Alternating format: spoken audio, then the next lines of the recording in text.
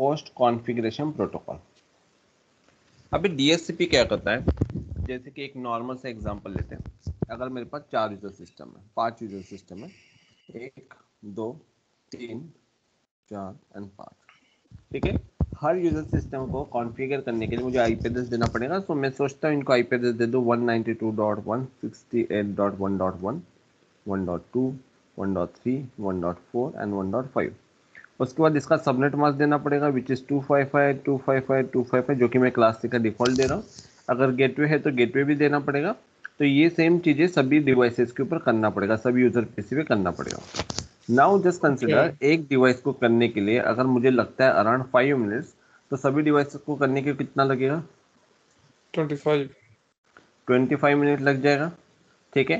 ये तो मेरे पास पाँच यूज़र सिस्टम के लिए जस्ट कंसिडर करो कि मेरे पास सौ यूज़र सिस्टम है। सौ इंटू फाइव तो फाइव हंड्रेड मिनट्स लग जाएँगे which is very very big time ji. Correct तो ये कोई सॉल्यूशन सुटेबल नहीं है कि हम लोग 500 मिनट ओनली आईपी एड्रेस कॉन्फ़िगर करने के लिए डालें।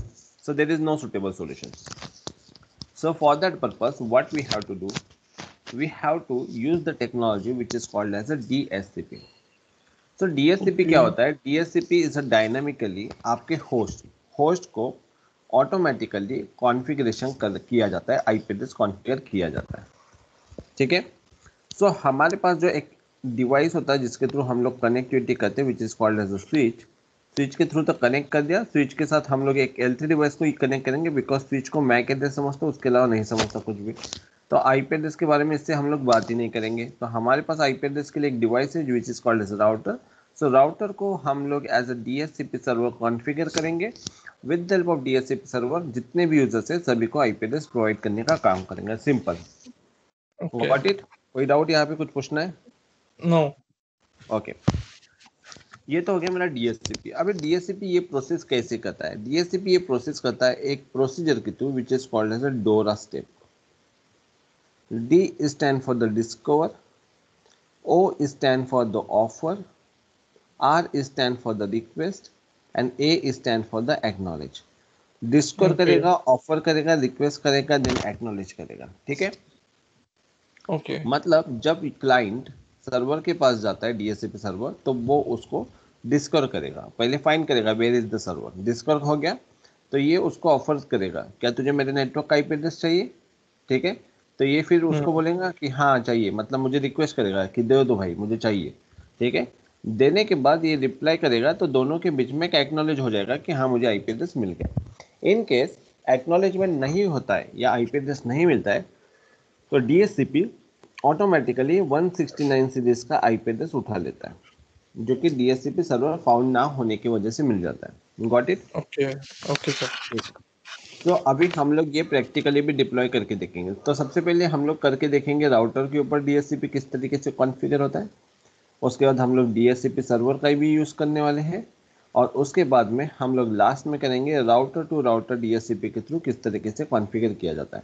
मतलब एक राउटर को मैं as a D S configure करूँगा ऑटोमेटिकली सेकंड डिवाइसेस जो कि नॉर्मल है क्लाइंट लोकेशन उसको मैं डी एस सी पी के थ्रू कॉन्फ़िगर करना चाहता हूँ। So how it is possible that we can see in our two session which is called as a D S C P okay कोई doubt यहाँ पे कुछ पूछना है?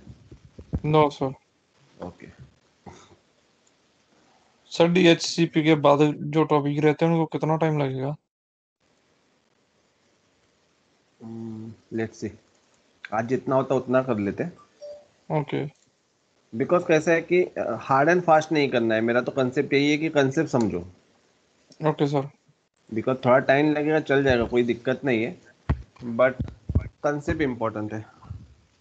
ऐसा ऐसा हो जाएगा अदरवाइज़ हम लोग तो मस्त आगे जा रहे जा रहे लेकिन कंसेप्ट भी समझ में नहीं आ रहे तो कोई मतलब नहीं है। जी। तो मोस्टली हम लोग कोर टॉपिक के ऊपर ही फोकस करेंगे। Okay okay. तो so, यहाँ पे मैं एक राउटर ले रहा हूँ। एक स्विच ले रहा हूँ two nine six zero and चार यूज़र पीसी ले देता हूँ। सबसे पहले तो मैं यूज़र पीसी को कनेक्ट कर देता हूँ। अभी मैं यूज़र पीसी को कॉन्फ़िगर नहीं करने वाला हूँ। बिकॉज़ जैसे कि मैंने बताया डीएससीपी के थ्रू आईपी एड्रेस ऑटोमेटिकली मिलना चाहिए। सो लेट्स सी मिलता है कि नहीं?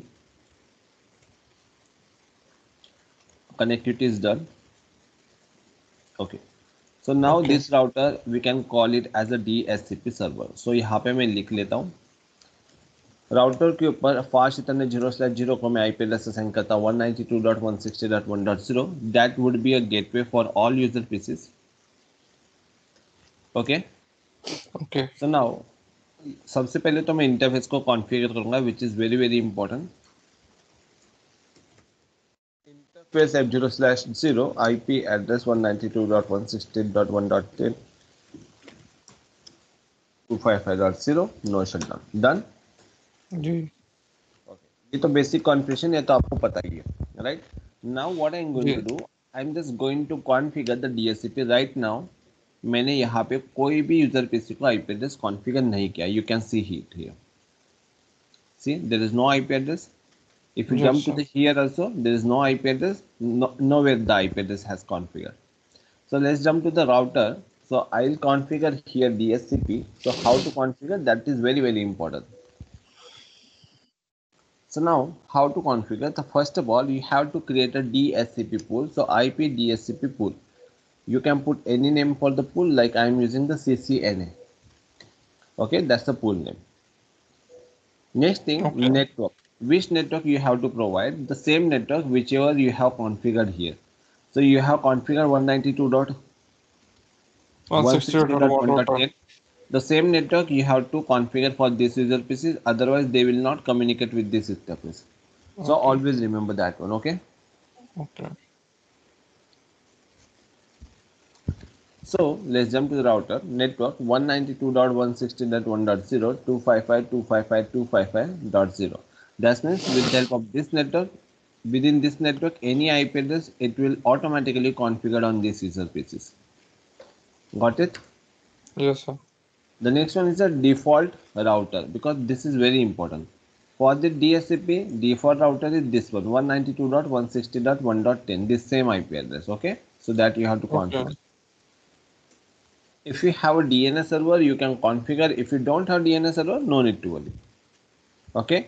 In a real Okay. production network, might they have a different kind of DSCP DNS server. It's not like a global because global जो होता है वो होता है 8.8.8.8 otherwise eight eight four four इस तरीके से होता है। But might be in live production and real production network उनके बाद डी सर्वर का आई पी एड्रेस कोई और हो सकता है। ठीक है? So we can consider that I P address is eight dot four dot four that is D N S I P address enter. Now just check show run so you can find out this is my dscp configuration you just go through it. If you have any doubt just ask me okay. कोई doubt है यहाँ pay anything No, sir. No, Okay, sir. fine. So right now what we have done, we have done the basic configuration of IP address and the second one, we have created the DSCP pool here. That's it. Okay. Okay. So now I'll jump to my user PC. This is my user PCs, right? So I'll jump to here. Okay. When I click on my user PC, you can find out here, here's one option DSCP.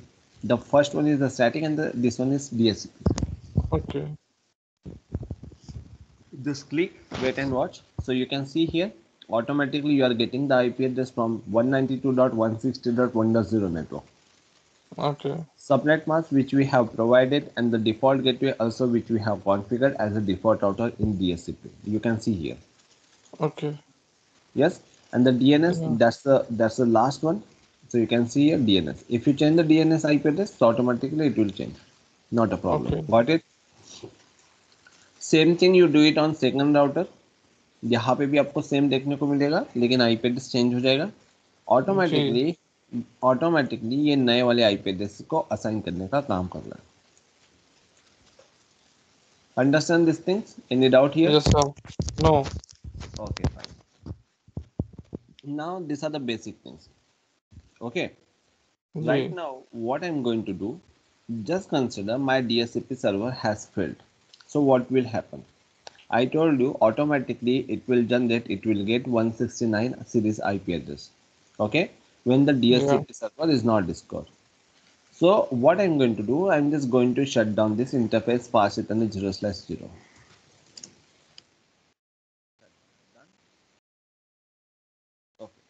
Now what will happen when these peoples, these users, they will ask for the request for the to a DSCP server. So DSCP server is not there, right? Because they Yeah. will get to know like there is no DSCP server here because it is down. Mm. So how they will get the IP address? They, they won't get the IP addresses. So what will happen? Automatically, it will generate the IP address which is which is from APIPA. That's the 169 series IP addresses. You can see. Yeah. Okay. And DSCP failed, APIPA is being used with the help of APIPA. APIPA is like just kind of process we can say. So DSCP fail होने की वजह से हमें 169 series का IP address मिल जाता है. Got it? Any doubt here now? No. Once your DSCP server is on, again it will start the process of DORA. Oh, not out. I just want to wait because once it's turned into the green color, then we'll check. Okay.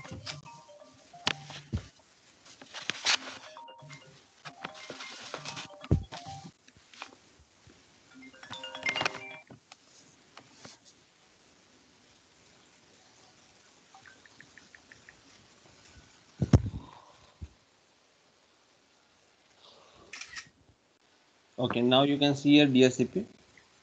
See, Yes, sir. it Yes, started sir. coming. Now the my second concern is here. My second concern is here's the network 192.160.1.0 network.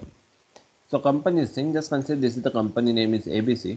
Company is saying we are using 192.168.1.1 to 192.168.1.10 IP address for our internal network. Got it? Yeah. So they are saying you do not provide this IP address to this user system because we are using this IP address for our internal system. So you just exclude those IP addresses from your DSCP pool. So how we can do that? Just jump to the router, simple, go to the global configuration mode, type here IP DSCP excluded address. Okay. Hmm. Then you just type 192.160.1.1. So you can exclude by one by one as well, or you want to exclude by like this. So still it is possible. Getting my point? You can Yeah. exclude by one by one as well as you can do it like this. So I'll do one thing. I'll do one more thing. I will exclude 12 as well. Because you can see here, I just uh, exclude from 1 to 1 to 10, then 12 directly. 11 I didn't exclude, right? ये हम निकाल रहे हैं ये IP addresses को Sorry?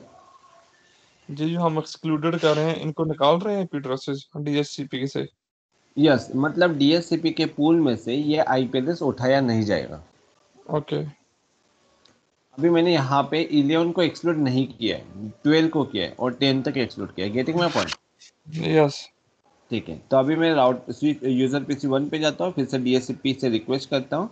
So let's see he is getting 1.11 because which is not excluded right या now let's jump to the second user pc now you can see here 1.13 it will get right? Okay या because 1.12 is also excluded. Here you will see hmm. 1.14 uh, you will get. That is coming under the series only. That's not a big deal. Okay. Okay, understand these things? Yeah. This is how you have to configure the DSCP or the router. Any route here? No. Okay. Now the second step is here, how we can configure the DSCP with the help of server. So I'll just remove my router and this completion which is not required. Go to the server options are here. So you can find out here is a server. Okay? Yes, just connect this server to this switch. Open double click and open the server because right now there is no DSCP yeah. Right? So automatically these users will generate the API IP address which is 169 series. It will generate automatically, you can see here, right? या Because there is no DSCP. So right now I am configuring this server as a DSCP server. So let's get configure. So you can see here, here's the option. There are so many options and this is the server image, server like we can say as a picture. Okay. It looks like this, Okay. it's just like a system only. So you just jump to the configure and then you can find out the services options here. So in services, there is a multiple services, but you have to find the second number service, which is DSCP service. Okay. Okay. Okay. So now, first of all, before starting this DSCP server services, so what you have to do, you have to jump to the config portion. So here is a tab config, and first you have to configure the fast Ethernet zero in uh, this part, fast Ethernet zero interface. Okay, because la last time what we have done, we have done the configuration of router, right? Same thing you Yeah. have to do it on it here. 192.160.1.10 and the subnet mask is 255.255.255.0 which is the default subnet mask for class C. Okay. Okay. Now jump to the services option and the second option is DSCP. First of all, you can find out here fast than 0 which is the by default interface here. Services it should be on. You can put any pool name. So here is a server pool which is a by default. I'm not going to change. Keep it like this. That's not a problem. Next one is the start IP This is I just want to start from dot 10. Okay, I, I'm just like requesting like this. Okay, so IP address it will start from 10. That means the user here they will get the IP address from 1.10, 1.11 like that. After that, maximum number of users you can put. Right now, I do have only four users, but I am just keeping 50. Not a problem. TFTP server and WLC there is no use so you just keep it like this. Click on the save. Once you click on the save option so you can see here is a so I, I forget to configure DSCP gateway and DNS server. So this is very important thing. So DSCP gateway I am just configuring 192.160.1.10 DNS server not required but if you are configuring then well and good. Click on the save option. So you can see here the pool name is server pool. Default gateway dns server ip address star subnet mask maximum users and all this information you will get it from here. Got it? Yes. don't forget to save option. Once you click on the save then jump back uh, to user pc click on the user pc again let's say now you are getting the ip address from 1.11 right? Yeah. Why we are not getting the 1.10 ip address because 1.10 ip address we have configured here. Okay. yeah? Yes, sir. same thing. You have to do it on another side. got it? Okay. but now uh, what happened you know? Uh, this is the packet tracer here's the some limitation. So we cannot exclude the ip address on a server level here in a packet tracer but i guess in a real production network you can do it do it. That's a possible thing Okay. okay. If server can do so if router can do the server as well he will do it. So that's not a problem but you have to know the concept that's it. Understand the Okay. concept? Any doubt here? No, sir. okay.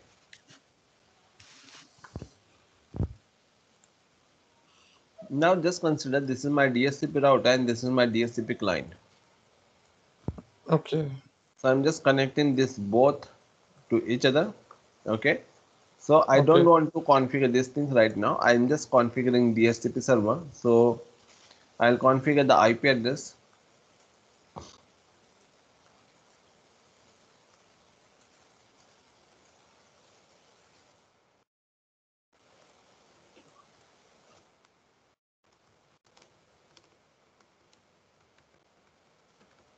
One dot ten IP address I'm configuring.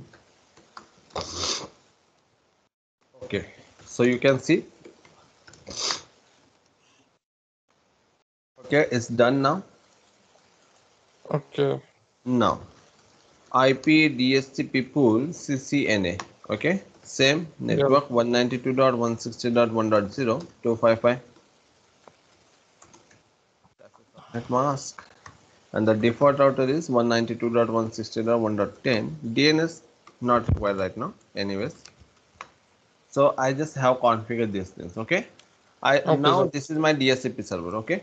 So what I'm going to do, I'm just going to configure this one as a DSCP, uh, like we can say as a DSCP client. So he will generate IP address automatically for this interface. So let's see how it works.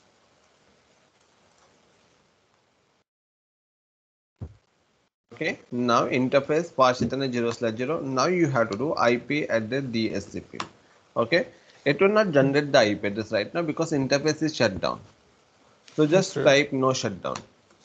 Wait for some time. So you can see you you are getting the IP address automatically, which is 192.160.1.1. So you can see here show IP interface brief. Done. Okay. Yes. If you are trying to ping 192.167.10, so it is able to reach. Okay. Yes. Yes, sir. This is how this is how you have to configure the DSCP. Any doubt here? Do you want to ask anything? Any questions here? No, sir. Okay, fine.